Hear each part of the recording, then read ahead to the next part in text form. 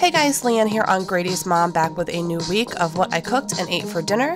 If you are new here to my channel, I do have an entire playlist of these types of videos linked in the description box down below. So tonight's dinner, we had some roasted sausage and peppers with roasted potatoes. I love making this dinner. I love sausage and peppers in general, and it was really, really delicious. And we actually had leftovers, which is always nice. So sit back and relax and watch as I show you what I made and ate for the week.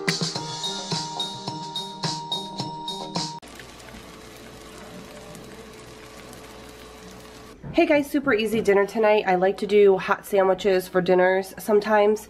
So I have some nice rye bread. Um, so I did some bacon, which was left over from the BLT pasta salad, with some sharp cheddar cheese, some bacon aioli um, on my husband's sandwich with some potato wedges from Walmart, some of the BLT pasta salad. I went heavier on my pasta salad because I'm not having potato wedges and I have the same sandwich as my husband except mine has tomato on it.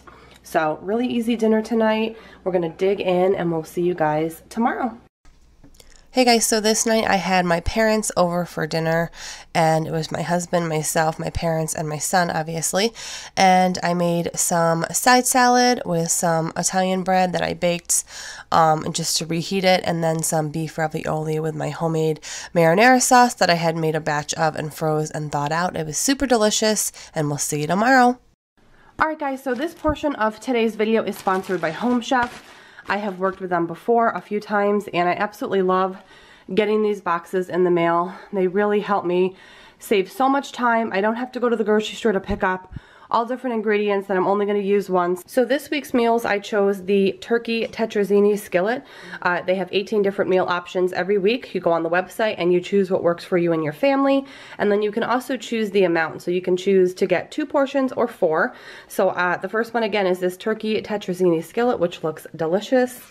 The second is this maple cranberry bone-in pork chop dinner. And then I'll just have to whip up maybe like a little side salad.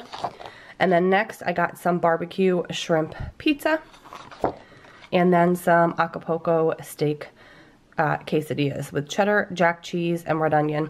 So not only does each card um, come with all the ingredients and instructions, I also have a binder that they sent me um, a while back that I keep all of these recipe cards in because the nice thing is if you love these recipes, you can recreate them um, by using these cards for reference. So it just saves so much time and money. Everything comes, each meal comes in its own individual bag, so there's no guessing games to play. So everything for the barbecue shrimp pizzas in here, for example, and then so on and so forth.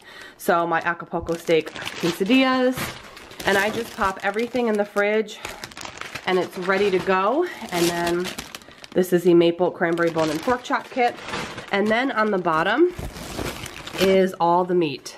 It is always fresh, it is always cold, and um, I like how it's packaged separately as well so you can see everything. It's just really, really easy, guys, so I highly recommend it. If you'd like to try out Home Chef, you can use my discount code in the description box down below. It is just code Grady's Mom 30 for $30 off of your first order. Everyone I know that has signed up has absolutely loved it, and if you do try it, you will not be sorry. Let's go ahead now and see what I made the rest of the week for dinner. Alright guys, here are how the quesadillas turned out. They look and smell absolutely delicious. I did do just a little side of Spanish rice and then the quesadillas and everything needed for the quesadillas was provided by Home Chef, including a ton of pico. I even have more up on the counter and I also put the pico inside the quesadillas as well. It even comes with individual condiments. I don't eat sour cream, but my husband loves it. So I'm to go ahead and give him these. It gives you every single thing you need to make the meal, including things like condiments, which are sometimes things that you forget at the store. So it's just so convenient. We're to dig in and we'll see you guys tomorrow. So this night I made breakfast for dinner. I have some sausage here and I also made some French toast with the apple caramel swirl bread. It was absolutely delicious. I highly recommend doing French toast with this particular bread. Um, I do do both my sausage and my uh, hash brown potatoes in the oven this time and I just spray the tray with a little cooking spray and they come out really crispy. Um, I do them on like 425 so high heat. So I'm plating up Matt and Justin's plates um, and then I did mine but I didn't film me doing my plate but it was the same thing as theirs but I only had one hash brown and less sausage and also one less piece of French toast but it was super delicious and this is what we had tonight and we'll see you guys tomorrow. So tonight for dinner, I did the Home Chef shrimp barbecue pizza on these little like non little flatbreads. As always, everything was provided and they came out super delicious. I actually had a little Kraft mac and cheese left over and I put it on the side, but I could not even eat it. I was able to eat my two little pizzas and the mac and cheese I did not even touch because it was a nice hearty portion. It was super delicious. Alright guys, I'm getting ready to make dinner for the night, um, and tonight I'm going to do one of these Hatfield pork loins. Um, these are the ones that come already seasoned. They make them in all different flavors. This is just the rotisserie season. It's like a dry rub. Um, I make these all the time, and I do purchase them when they go on sale and freeze them. Uh, as you can see, this one's from back around Christmas time that I froze, and I'm just uh, thought it out this morning, and I'm going to go ahead and make it now. Um, I do get a lot of questions about people wanting to know like how to roast meat and what temperature and all of that. Um, I definitely would recommend getting a meat thermometer for one, but on most packages of meat, they do come with instructions. Um, this one has both grill and oven instructions. So obviously you can just follow the instructions or if you're a little bit more advanced, you can kind of cook it um, at a temperature that you know works. For example, this one says 375, but I always do them at 400 and I've never ever had a problem with them drying out. So it's just kind of personal preference. But yes, I would definitely get a meat thermometer if you're somebody that gets nervous about undercooking meat um, and that kind of thing. So I'm going to go ahead and get this in the oven. I have my oven preheating. Uh, tonight I'm also going to make some mixed veggies. I get the Great Value brand. Um, these are the steam in the bag ones and they're super cheap. And this is just the carrot, green bean, corn, and pea uh, vegetable mix. I'm also going to make um, some spaghetti squash that I made um, a couple days ago in a food prep for the week. Um, and I'm going to use this um, as like a little side as well. Uh, and I'm going to pan fry it to get it nice and kind of golden brown. It's going to be really good. And then I also got some fresh bread baked um, this morning from a um, uh, local grocery store bakery. Uh, this was on sale, so I got, they were buy one, get one free. So I got two, and I'm going to freeze one.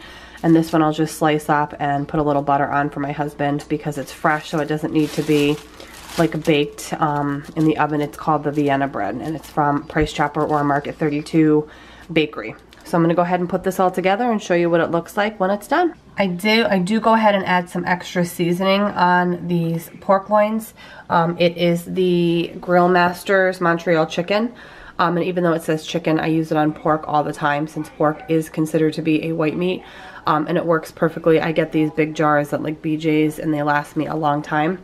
Um, so yeah, I just add the Montreal chicken seasoning for some extra flavor on the meat.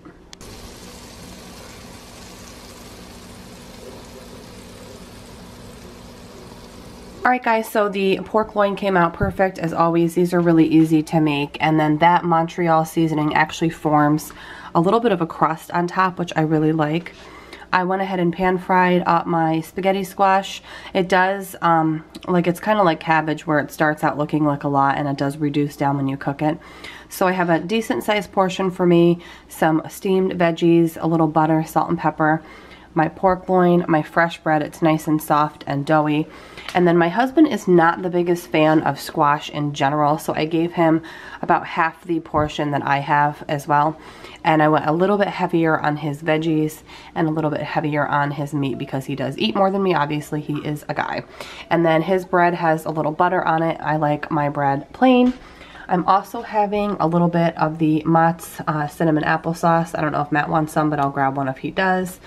And I am having one of these clear pineapple coconut sparkling waters tonight. I really love this flavor. It's definitely one of my favorites, um, the pineapple coconut. And I get these at Walmart if you're curious. So yeah guys, this is our dinner tonight, really easy. We do have leftovers. I really like using the pork loin for sandwiches. I like to slice it really thin and then maybe have some kind of a grilled sandwich and it would be really good on this bread as well. So I hope you guys enjoyed seeing what we had for our dinners for the week. If Again, if you are interested in trying out Home Chef, I do have that $30 discount code linked down below in the description box. Otherwise, thank you so much for watching and I will see you guys in my next video. Bye guys.